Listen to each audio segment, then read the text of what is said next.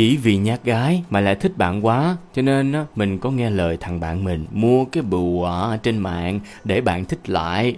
Mình sắp 20 tuổi rồi mọi người Và chưa bao giờ biết cảm giác yêu đương là gì. Bởi tính mình kiểu rụt rè hướng nội đồ đó Mình không có đủ can đảm, đủ dũng cảm Để tiếp cận hay là nói chuyện với một bạn nữ nào hết trơn. Cứ là gần bạn nữ nào là mình cứng đơ Không mở mồm ra nói chuyện được. Mình cũng cố gắng thử mấy lần Nhưng mà đều thất bại à. Đâm ra mình nản ghê á mà lên đến lớp 12 Mình lại gặp được cô gái mà bản thân mình cực kỳ thích. Cô ấy đúng cô gái trong mơ luôn nha Mái tóc đen dài, hoạt bát năng nổ. May mắn lớp mình lại ngay cạnh lớp cô ấy nữa chứ. Mình quyết tâm là sẽ chủ động làm quen với cô ấy Nhưng mà đúng khó luôn. Cứ đứng trước mặt cô ấy là mình câm như hến Chân tay còn run rẩy không có chịu được. Thằng bạn nhìn mà chỉ có bất lực kéo đi về. Thế là ngày này qua ngày khác cứ quyết tâm đứng trước mặt cô ấy chào là mình đơ đó luôn Khiến cô ấy chỉ biết nhìn ngơ ngác thôi ạ. À. Vì không muốn để cô ấy lọt vào tay thằng khác Mình đã cố gắng đến thế rồi mà không có mở mồm nổi. Trời ơi Thằng bạn thấy mình quyết tâm vậy Thì bảo mình á, tìm bùa đi. Nghe bảo á, nhiều người review chỗ bán đồ vật tình yêu ok lắm. Thế là mình cũng lên mạng tìm hiểu. Thấy shop bán 2 tặng 1 đồ đó Mà mua 5 thì tặng thêm 3 Cho nên mình nghĩ mua nhiều thì crush sẽ thích mình nhiều hơn Kiểu vậy. Thế là mình quyết định là mua càng nhiều càng tốt Để có được tình yêu của crush. Nghe họ giới thiệu sản phẩm thì mình cũng gật gù Quyết tâm bỏ tiền ra Dù số tiền đâu có nhỏ đâu. Rồi, khi nhận được đồ, mình hồi hộp tưởng tượng được bản thân có được crush mà chỉ có biết cười tủm tỉm thôi. Ngày hôm sau lên trường, mình cố gắng để bản thân bình tĩnh nhất có thể nha. Sợ đồ muôn có tác dụng, cho nên mình cứ lẩm bẩm nhẩm tên cô ấy cả đêm, tối đó còn mơ nữa mà. Ê, mà đồ này có tác dụng thiệt nha mấy bà. Từ lúc đeo xong nha, Crush thỉnh thoảng cứ nhìn mình rồi cười cùng với nhóm bạn luôn. Tan học nè, cô ấy còn chủ động bắt chuyện với mình cơ. Mình lúc ấy sướng quá, cho nên bạn hỏi gì mình run rẩy trả lời đấy. Bạn còn khen mình dễ thương nữa chứ. Ôi, mình đã suy nghĩ được á, đứa con hai đứa tên gì luôn rồi đó mọi người. Tự nhiên thấy món đồ mình mua nó quá ư là tuyệt vời luôn. Cô ấy có xin cách liên lạc và tối đó bọn mình bắt đầu nhắn tin với nhau. Mình có nói thiệt với cô ấy là mình nhát lắm, không nói chuyện với cô ấy một cách tự nhiên được. Xong, cô ấy nói một câu khiến mình đúng rung rinh luôn. Không sao, có mình đây rồi, cậu đừng ngại nha, cứ nói chuyện với mình tự nhiên đi nè, mình thích nói chuyện cùng cậu lắm. Ừ, mình cũng hứa với cậu ấy sẽ tự tin bắt chuyện khi gặp, cả đêm nói chuyện vui cực kỳ luôn, mình trăn trọc chờ ngày mai, ừ, mong gặp cô ấy thôi à. Tự nhiên có động lực đi học ghê không, mong đi học mãi thôi á. Thằng bạn mình tháng vậy cũng có tiến triển á, thì mình cũng ờ, mua hộp sữa hay nước gì đó cho crush. Tại thấy con trai tán gái toàn làm vậy mà, đường cái ai nói gì mình làm nấy à. Mình mua hẳn bịch sữa Milo rồi dí vào tay bạn, sau đó chạy biến vào lớp luôn. Thiệt á nha, chắc phải đồ xịn lắm. Mình thấy bạn ấy chủ động với mình đến nỗi mình ngợp luôn á. Từ khi đeo vòng này, mình thấy tình yêu ngập tràn từ crush. Cô ấy còn chủ động rủ mình đi chơi nữa mà. Đúng như cô ấy nói, cô ấy luôn miệng hỏi mình nhiều vấn đề. Mình cũng trả lời cô ấy rất là thành thật luôn á. Cô ấy khiến bầu không khí trở nên vui vẻ và mình cũng không thấy ngại ngùng với cô ấy nữa. Rồi, cuối cùng bọn mình cũng đã ở bên nhau thấy hiệu quả quá, cho nên mình mới đi giới thiệu cho mấy đứa bạn bè ế xung quanh. Thì con bạn mình chúa săn đồ, nó mới nhịn hồ để nói, ủa, cái cửa hàng này nó có phốt nè mày, Nó xạo chó đó mày ơi, Chỉ là vòng bình thường thôi à Có mẹ gì tâm lính đâu. Bọn này bị phốt lừa đảo từ trước rồi mà. Công an từng hỏi thăm bán trái phép đó, Hàng lậu đầy ra, Thế mà mày vẫn đâm đầu với được, Hay ha. Mà may là tình yêu vẫn ngon nghẻ nha ba, Mất tiền nhưng mà có tình yêu là ok đó. Nghe con bạn nói thì mình mới ngỡ ngàng nhận ra là Crush thích mình thiệt chứ không phải do cái gì tác động trơn. Tự nhiên, niềm vui nhân đôi luôn mọi người, có động lực nó khác ngay. Phụ nữ phải ra ngoài kiếm tiền mới không bị khinh thường. Cho tôi hỏi trong số bạn bè gần xa cô dì chú bác anh chị em bà con họ hàng hàng xóm láng giềng cộng đồng mạng các bạn làm content Facebook, YouTube, TikTok, các idol trên TV là ai? Là ai đã phát ngôn ra cái câu trời đánh phụ nữ phải ra ngoài kiếm tiền mới không bị chồng khinh thường. Rồi không có gì tàn phá phụ nữ bằng việc nhà. Ôi sai lầm, đúng là sai lầm. Bỏ nhà ra ngoài đi làm việc mà chẳng làm ra trò trống gì thì càng bị khinh hơn ấy. Nói tôi là đại gia thì hơi quá, nhưng tôi làm kinh doanh. Lương tháng không bao giờ dưới 100 triệu. Chẳng phải rich kid gì lắm.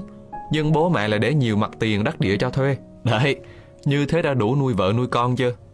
Cuộc sống của vợ tôi, Nếu ví như phu nhân thì hơi quá, Nhưng muốn mua đồ hiệu tầm 50 hay trăm triệu Thì tôi vẫn cho.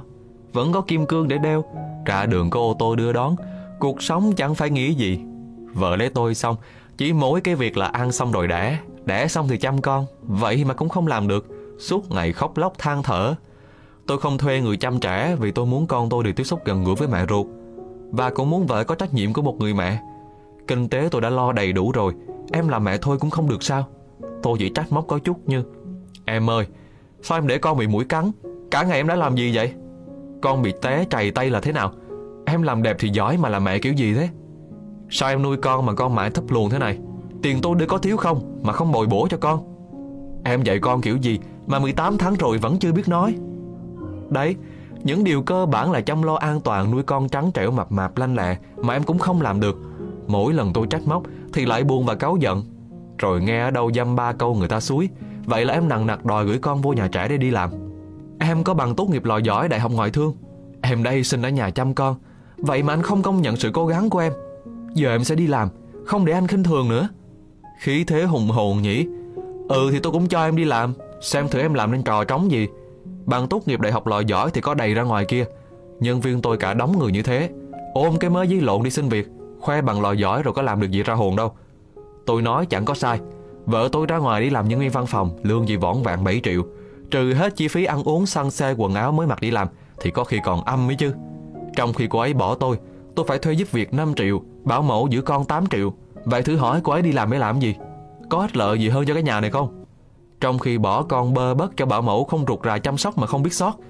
Nếu đã bước chân đi làm thì phải làm cho ra trò trống, còn không thì an phận ở nhà làm mẹ đi. Nói tới thì khóc lóc làm mình làm mẩy còn đòi ly dị vì tôi không tôn trọng nữa chứ.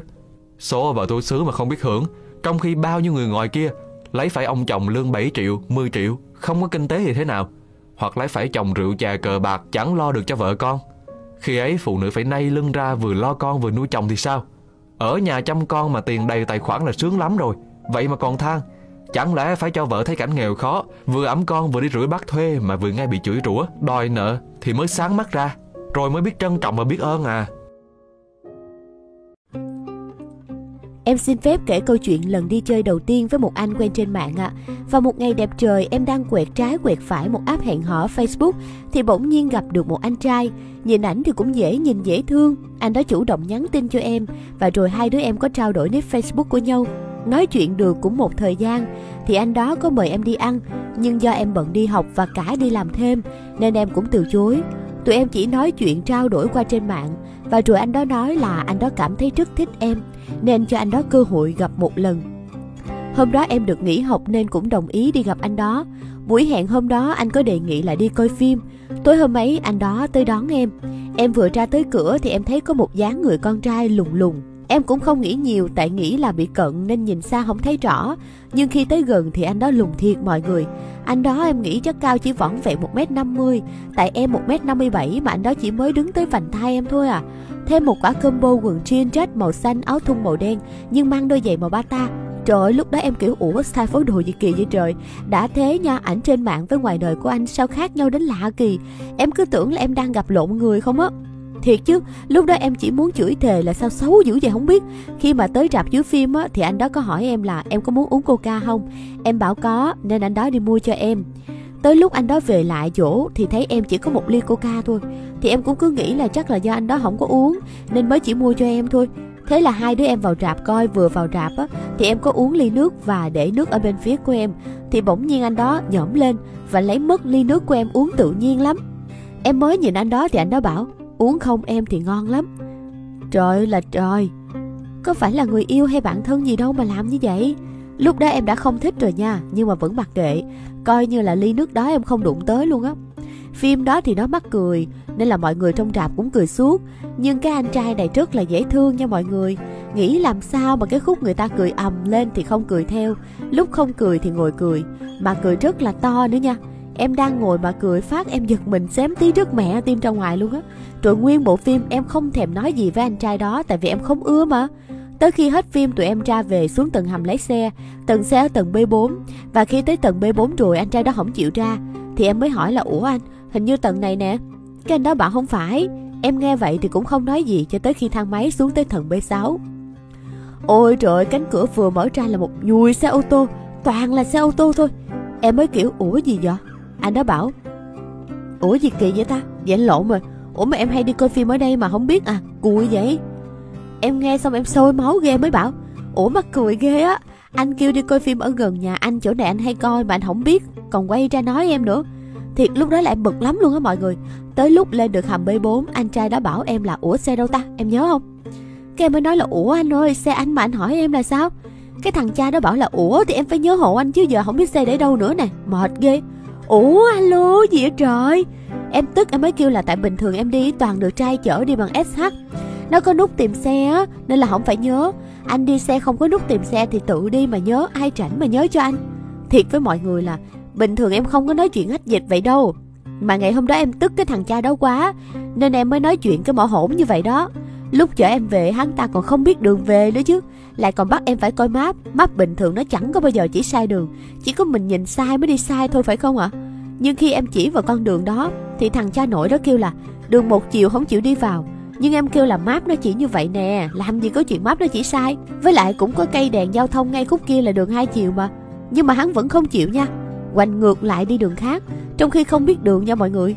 Em đang coi map là 4,5 cây nữa là tới nhà em. Nhưng mà hắn ta đi quanh đường khác tự nhiên map nó lên tới 6,2 cây luôn. Má con có tức không?